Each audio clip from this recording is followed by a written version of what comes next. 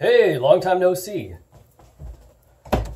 So, today I'm going to teach everybody how to professionally color your hair. You may know I'm a trained professional hairstylist. I've been doing hair for 10 years. And a lot of people at home just don't do it right. So, I'm going to teach you how to do it the best you can. First, your tools. You have a comb, make sure it's a professional comb. Um, color of your choice, make sure it's professional. A brush, professional. Measuring cup, professional. Regular ones, they're not the same. Color key, professional. Yogurt container, supermarket. And peroxide. Now, if you notice, this one is prescription. You should always use prescription peroxide when you're coloring your hair. It, it just gives a richer, more long-lasting, shinier result. All right, so we'll get to mixing. I chose 6.3 to color my hair. Uh, that is dark golden blonde. Now, don't think because it says blonde that it's light. A 6 is actually pretty medium, and I'm going to use it to darken my hair. So you take it out, you put your professional color key on it. Do, do, do. Now, you have your measuring thing. It's professional, but since you're using a real grocery store yogurt container, you don't really need to measure. So, put some in, just however much you think. All right, that seems good. I think I put about an eighth of a tube. Yeah, that's an eighth of a tube. Be sure to put it back in the box, otherwise it will not turn out. Now, shake your prescription peroxide. And um, again, you have your professional measuring cup, not with this container. You really, you just don't need it. And just pour in some. Uh, yeah, it seems good. Now, there's a difference between hair peroxide and um, like wound peroxide. You're going to want to use wound peroxide because you can't get hair peroxide prescription. So this is 10% um, antiseptic peroxide. So you use that, and then with your professional brush, stir it. You have to make sure it's stirred really well. Uh, with the medical peroxide, it is very hard to mix.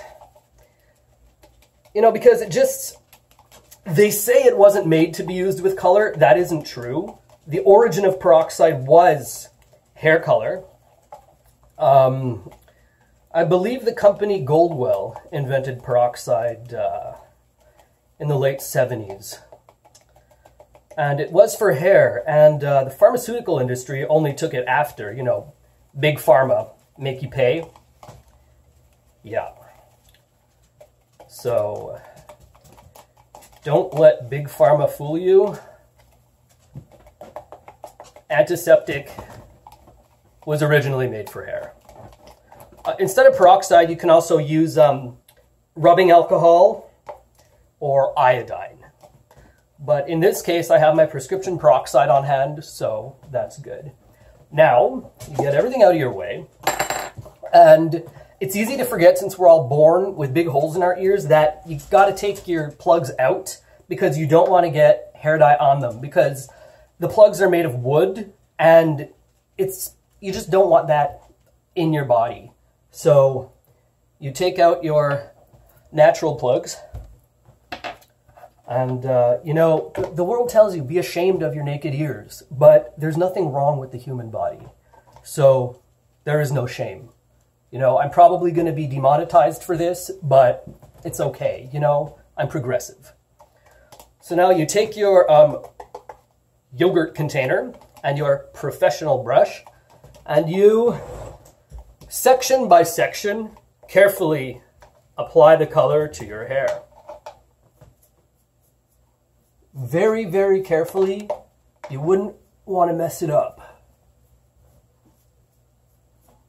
You just, you know, centimeter by centimeter with scientific precision.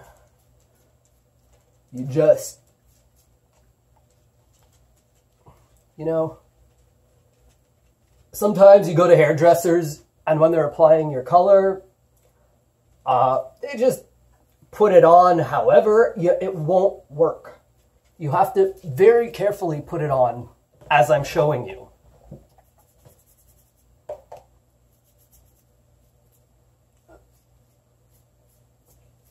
Now, every so often, oh, Ruby,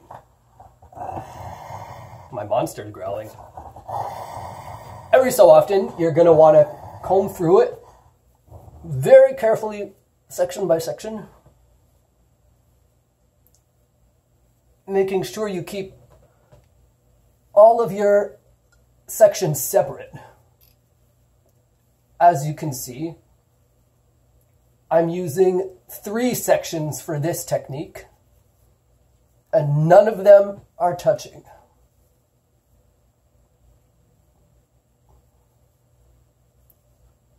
Now, they say wear gloves. You really don't have to. Um, because hair and nails are made of the same material. So hair dye is nail dye.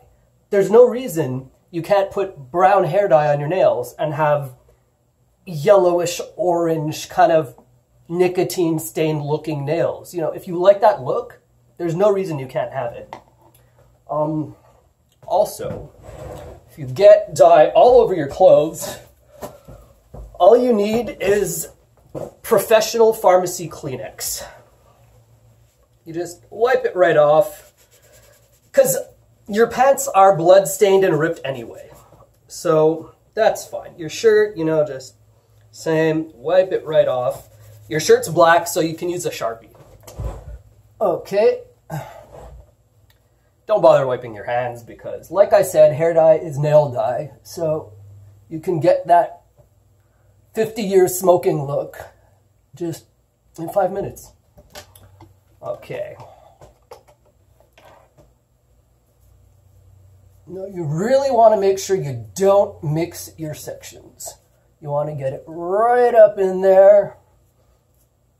Just area by area, meticulously and carefully applying your color. And make sure you don't get any on your skin because it will stain almost permanently. It's called permanent hair dye. Um, permanent hair dye is actually used in tattoo ink uh, because it's permanent. So don't put any of this on your skin because it'll give you a tattoo. Uh, if you get it on your skin, it's too late. You will have to get laser or tattoo removal to remove the staining. Um, so you really want to be ultra careful not to get anywhere you don't want it. Perfect precision. Okay, now if you have any left over, um, I mean, it kind of looks like chocolate pudding at this point, but despite it being in a yogurt container, it's not pudding. If you would have used alcohol um, instead of peroxide, you could eat it. Uh, you'd get drunk, but you could eat it. It would be like like Jello shots, but pudding shots. Um, but this one I use peroxide, and you know how you when you put it on a wound, it bubbles up. Well, it'll do that in your stomach and your stomach will explode. It'll rupture and fill your body with fizz and you'll explode and die.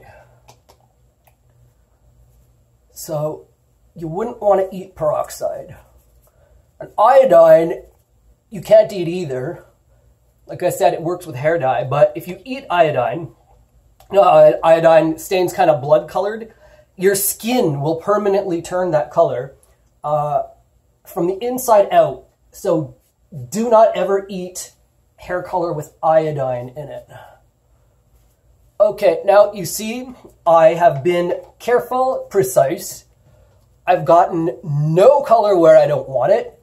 It is exactly, exactly perfect, very professional. Um, now, this is the kind of thing you should expect from your hairstylist, uh, especially if you pay a lot of money. You know, if you pay over $80 for your color, really, you shouldn't have to accept anything less than what I just showed you. What I showed you is really industry standard. Um, and truly, uh, I've been doing this 10 years. Uh, I could show you my diploma. You gotta, there's no reason not to believe me. Um, so I'm really glad uh, you watched. Everything I said in this video is true. You can check the facts. Um, quick Wikipedia search, uh, you'll see. And, um, well, I guess any of you who follow me on Instagram will see the result of my precise and professional hair coloring. Thank you so much for watching.